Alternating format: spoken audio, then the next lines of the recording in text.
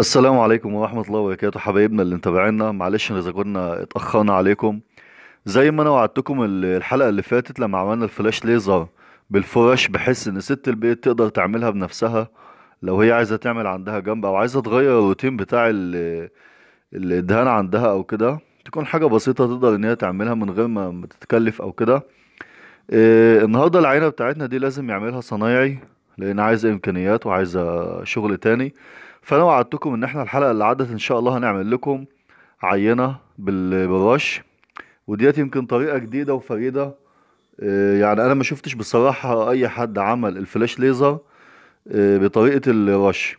ولكن يمكن علشان خاطر الإمكانيات اللي بتبقى متاحة مع الفني ساعتها يمكن ما بيكونش مثلا معاه وقت أو هو مثلا عاوز يسهل الموضوع.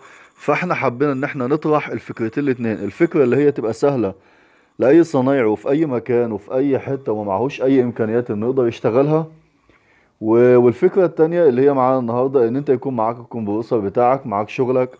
فأنا هنا جبت الفلاش ليزر زي ما أنتوا شفتوا لونته بعد ما هنلونه أنا طبعا غمقته كده عشان خاطر كل ما بتغمق بيظهر معاك الفلاش ليزر أفضل. طبعا اللي هيشوف ال- الأسود كده يا جماعة هقول إيه ده؟ هتعمل أسود؟ لا يا جماعة إن شاء الله ال- ده بيطلع خطير جدا. الأسود والزيتي والبنيات الغامقة بيطلع خطير جدا في الفلاش ليزر بعد ما بينشف. فإحنا كده جهزنا ننزل بينا على الورشة بتاعتنا. كده نزلت الورشة أهوت. هفضي كمية الدهان اللي أنا لو انتهت قدامكم ديت كمية الفلاش.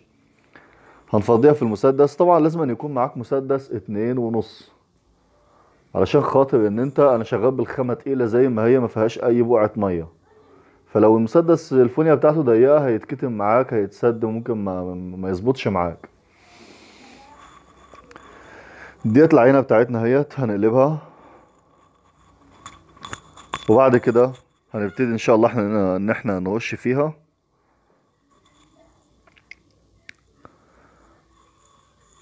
الخامة يا جماعة سهلة جدا في التطبيق وبتطلع معاك شغل فينش عالي جدا جدا جدا بصراحة خرافة. هتشوفوها مع بعض هنشوفها لما تخلص. كده أنا بدأت أرش أهوت. طبعا بتفتح ال- الرواية بتاعتك وبتفتح ال- الزرار اللي ورا اللي هو بيتحكم في كمية البوية اللي طالعة. وشغال على أبيض. لكن طبعا لو بتعمل بموالك أو قطيفة أو كده لازم إن أنت بتحتاج تدي وش واتنين وتلاتة أو إن أنت لازم تبطن بطانة نفس اللون. لا أنا هنا شغال على أبيض أهوت قدامكم لأن طبعا أنت عارف إن الرش بيقفل معاك على أي حاجة.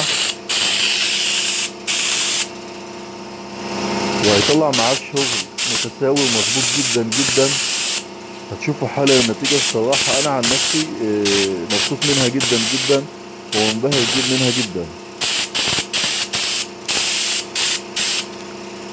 آه، يعني هي يمكن مثلا فكرة طرقت لي إن أنا أشتغل بالطريقة ديت لأن أنا شفت كل الفنيين آه، اللي بيشتغلوا بالموالك وبالفرش وكده لكن بصراحة آه، يعني ما لقيت الفلاش ليزر هو لازم يتعمل كده. أو الأفضل بتاعه عشان خاطر أنت تاخد جنب فعلا. آه، جنب ديكور جميل لازم يتعمل كده. كده أنا غطيت أهوت. بشوف لو في حتة خفيفة ولا حاجة برد عليها تاني. الجنب كله ما ياخدش مثلا بالظبط آه، خمس دقايق ما ياخدش أكتر من خمس دقايق. بتكون خلصت الجنب بتاعك كله. طبعا لو أنت هتعمل الجنب بتكون ملزق التيب بتاعك ملزق الورق الجرايد علشان خاطر المسدس ما يبهدلكش الدنيا.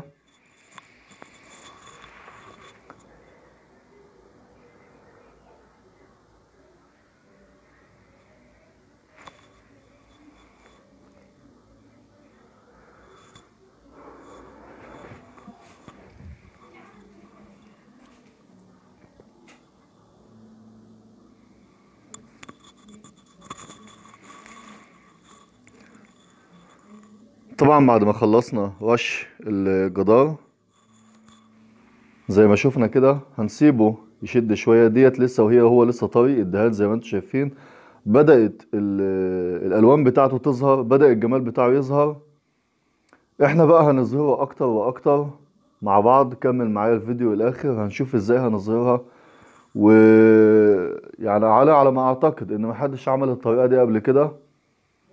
وإن شاء الله الطريقة دي سهلة جدا جدا في التنفيذ زي ما أنتوا شفتوا. وهنشوف إزاي إن إحنا نظهر الكسر اللي فيها أكتر من كده بكتير جدا وهتدي لك شكل تحفة. هنا العينة بعد ما نشفت أهيت.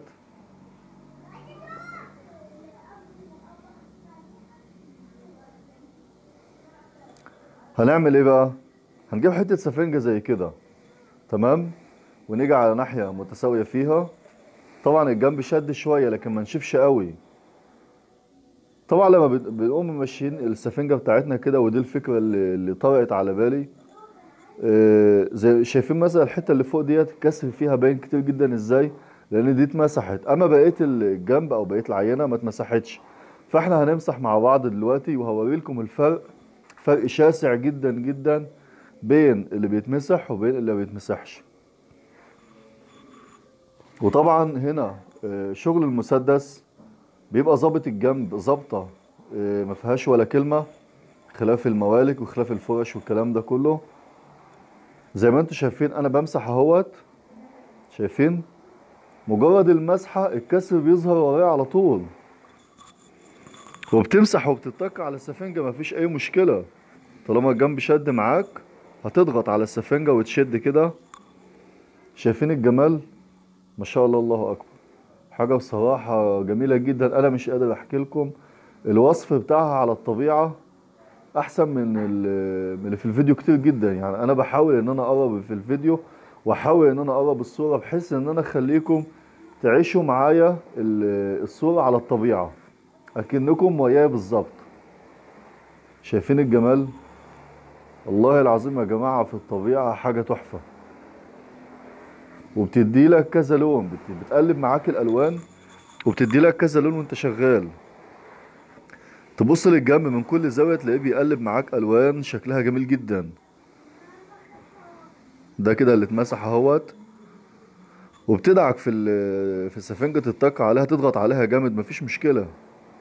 أنا بضغط على السفنجة أهوت وبسحب وممكن تاخدها صد رد لأنه ممكن يجي مثلا صنايعي يقول لي طب يا عم أبو إبراهيم أنا شايفك بتسحب في اتجاه واحد. لا أنا بسحب في اتجاه واحد علشان خاطر أنا بصور بالإيد التانية. أنا حالا هسحبها هاخدها تاني صد رد. يعني بتروح وترجع تاني بنفس السفنجة وبنفس الاتجاه. تظهر معاك ال- الكسر بشكل أفضل وأكتر.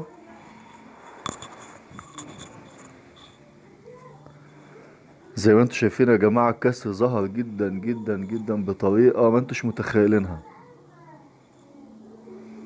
شايفين الجمال؟ وكل ما بتبص من أي زاوية بتلاقي معاك الألوان بتظهر كتير جدا أهوت زي ما أنتم شايفين. طبعا اللي كان يشوف ال- العينة وإحنا بنلونها في الأول يقول إيه ده يا انت هتسود لنا الدنيا ليه النهارده ما تعودناش منك على كده. آه، فطبعا لازم تصبر لحد الآخر علشان خاطر أنت تشوف النتيجة. شايفين الجنب بيديلك أحمر وأخضر و... وأصفر يعني بيديلك ألوان جميلة جدا. وكل ما تبص من أي زاوية بتلاقيه بيقولك يعني بص أنا هبهرك. أتمنى يكون ال- الفيديو النهاردة متميز آه، فيه جديد فيه فكرة حلوة آه، سهل في التطبيق. أتمنى يكون ال- الفيديو النهارده آه، عجب ناس كتير جدا سواء فني أو سواء آه، آه، حبايبنا اللي بيتابعوا اللي هم ملهمش دعوة بالمهنة بس هم حابين المجال وحابين ال finish والديكورات وكده. طبعا زي ما إحنا قلنا بنفكر تاني يا جماعة ده فلاش ليزر غير القطيفة الفلاش ليزر أو غير القطيفة الليزر. في قطيفة وفي قطيفة ليزر وفي قطيفة فلاش ليزر. لكن ده فلاش ليزر تراك مش قطيفة فلاش ليزر. عشان برضو محدش يقول لي يا عم إبراهيم طب أنت إزاي رشيت القطيفة الفلاش في في المسدس؟ لا يا جماعة ده مش قطيفة. القطيفة تقيلة جدا عن ده وعمرها ما هتترش معاك في المسدس. أما ده فلاش ليزر وزي ما انت شفت في أول الفيديو خ- الخامة خفيفة مش زي القطيفة خالص. أنا ما حطيتلهاش ولا بقعة مية ولا خفيتها خالص أنا رشيتها خام زي ما هي بالظبط.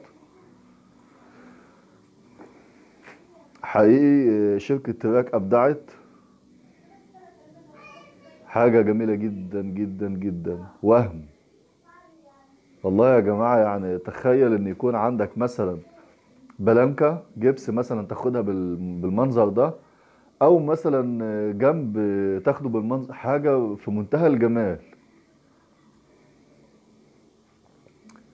آه، طبعا أنا بحيي حبايبنا آه، أستاذ محمد غازي وحمدي بلنط وأستاذ أحمد أبو مصطفى حقيقي يعني بصراحة الخامة ممتازة جدا جدا وأتمنى تكون الفكرة بتاعتي عجبتكم.